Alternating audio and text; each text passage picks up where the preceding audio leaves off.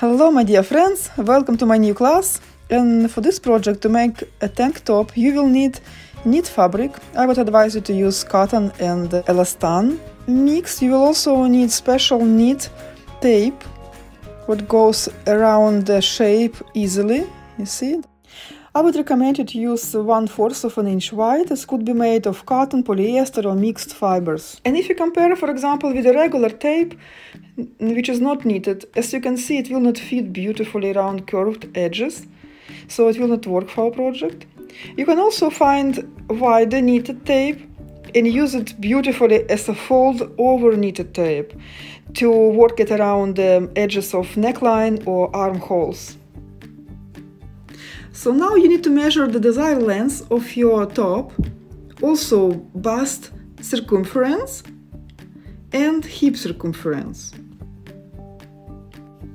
Now we will need to subtract from our uh, bust circumference about 9-10% to have it more fitted on the bust area. So in my case it will be 38 inches minus 3 inches, so 35 inches and I will need to divide it by 2 and I will receive 17.5 inches. For the hip measurement, I will not subtract anything because I want to make it more loose on the bottom. So I will just divide it by 2 and I will get 21.5 inches. For armhole heights, we will mark 8 to 9 inches, depends on your size and also on your design. We will also mark the length of our top and we need to mark the depth of our neckline. The minimum could be about 3 inches, I will use 7 inches. The distance to the shoulder strip will be 3 inches and the shoulder itself I will make 1 inch wide. So now we will unfold our fabric completely, just make it laying in one layer. And uh, from the one edge we will measure the half of our hip circumference measurement. So for me it's 21.5 inches and we will fold our fabric along of this measurement. Make sure that both layers of our fabric are absolutely flat and then we need to fold our fabric a half. So now we have four layers of absolutely identical foldings which will become front and back detail of our top. Now we will mark the shortest edge of our fabrics and we will measure from this edge the length of our top plus a half of an inch for hemming. And from this mark we will measure the distance to our shoulder, which is 3 inches. We put mark there. And from this new mark we will measure the distance of our of heights of our armhole. In our case it's 8 inches. And I will not put mark here, but I will put mark is close to, to the edge of the fabric. And now from the folding line through this mark we will measure one fourth of our bust circumference and we put mark over there. Also we measure on the bottom of our fabric one fourth of the hip circumference and after we connect these two lines in a nice shaped line. And now from the shoulder point we will mark one more inch for the shoulder width and this dot we will connect with the um, armhole dot on the side.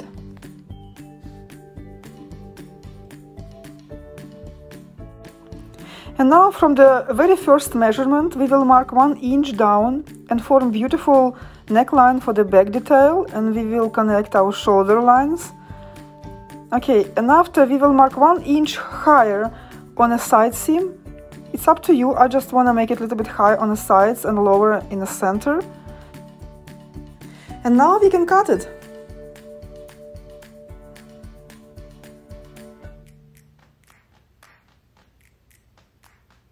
So now we will open it and fold each detail a half along the center line.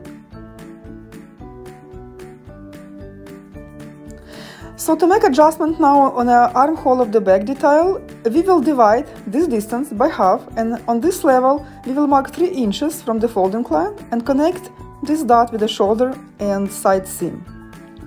And on the front detail, we will mark the depth of our neckline. So you can use different, I, I will use 7 inches from shoulder down and I will mark across of the folding line, you see. And now I connect this line with the shoulder. You can connect it in different shape if you would like. and after we cut it. So now we will open and put the back detail right side up and front detail right side down. We connect our side seams to make them even. So actually I decided to make it more narrow, the top part of the back detail, so I fold it again and from the fold line I measure 2 inches, 1 inch narrower. Okay, and I connect this dot again from with the back and shoulder and cut it. So now I connect uh, shoulders of back and front detail and I also cut small corners to make shoulder slightly tilted. And now we can go and stitch our side seams and shoulders. So we go to overlock, put our regulator on normal position, no gathering, no stretching. I would definitely recommend you to try the quality of stitching on a scrap of fabric. First, make necessary adjustment and when it's everything look good now, okay, now we can stitch our side seams and shoulders.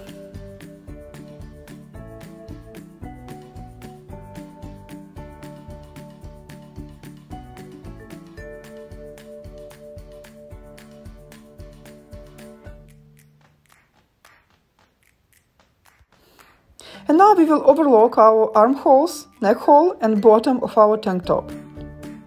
We will have right side up while stitching and we will also adjust our regulator to the little gathering position just to prevent the stretching of the edges.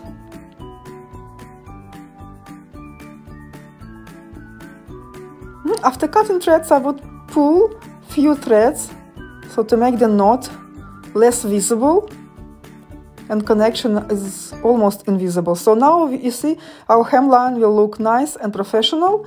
So now we will just continue overlocking our armholes and neck hole.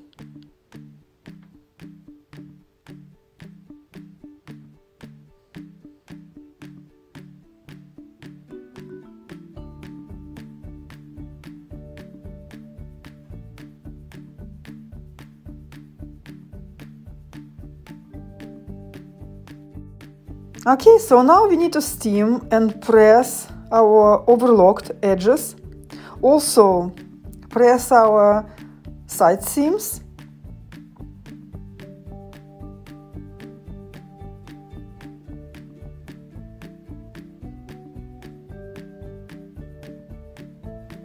So make sure that you iron in a steam position in a cotton temperature mode.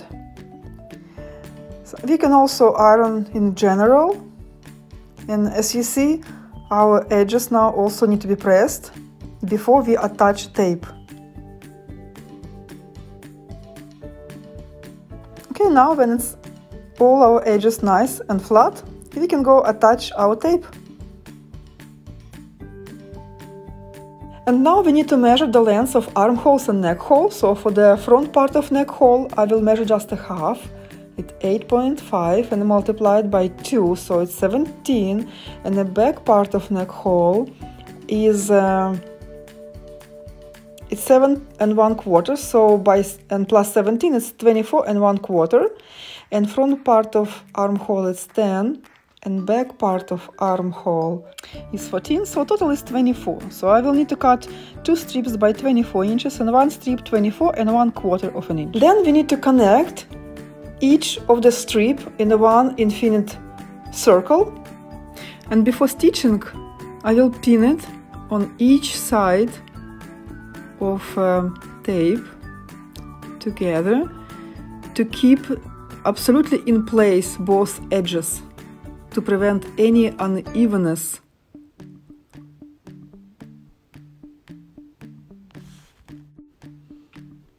mm -hmm. So now look absolutely even when you put allowances on the other sides. Look, looks absolutely straight.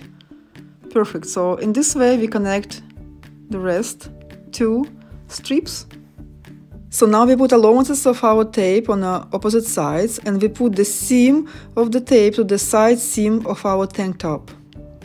Now after we found that middle of our armhole will be a little bit away of shoulder line and we found the middle of our tape circle and we connect them together and pin them together.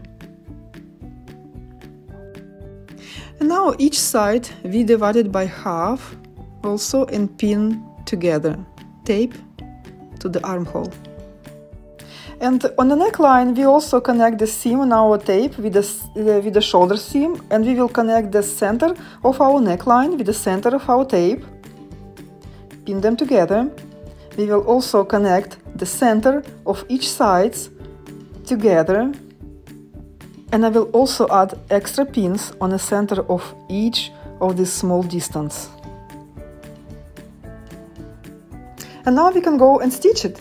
So you can use some extra pin if you need to keep the seams in place.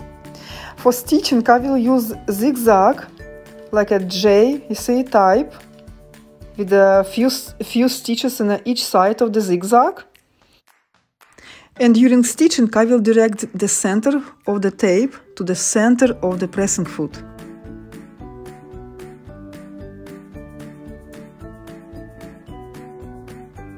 And this is how it will look from the wrong side and from the right side. See? Perfect. So we continue. And while stitching, just make sure that the edge of the tape overlapping the edge of your tank top in few millimeters. So you will not see the edge of your tank top on the right side, just like that. You see? So we continue the same way around neck hole and armholes.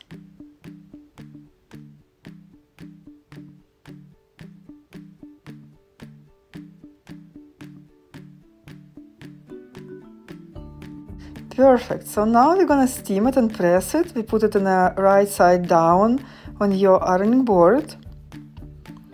And we will steam it along the edges.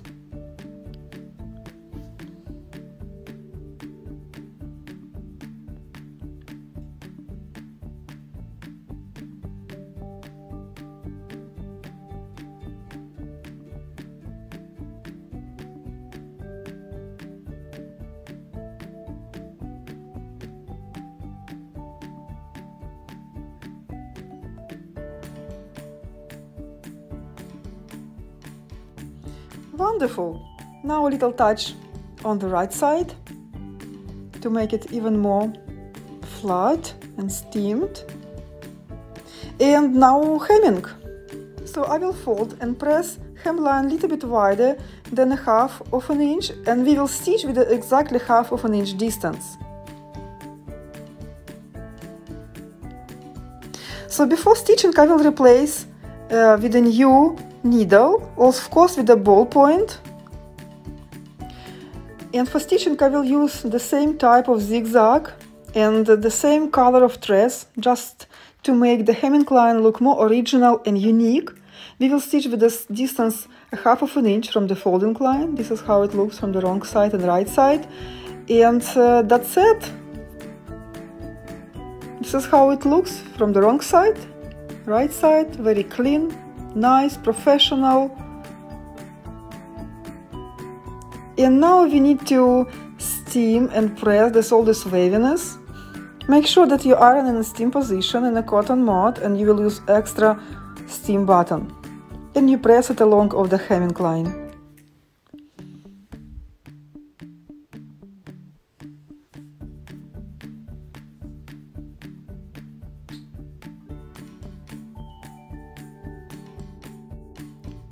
And now is the optional part. I will use flame to melt the sticking part of the uh, seam allowances uh, from the tape to melt them together to prevent uh, unwinding while washing and drying.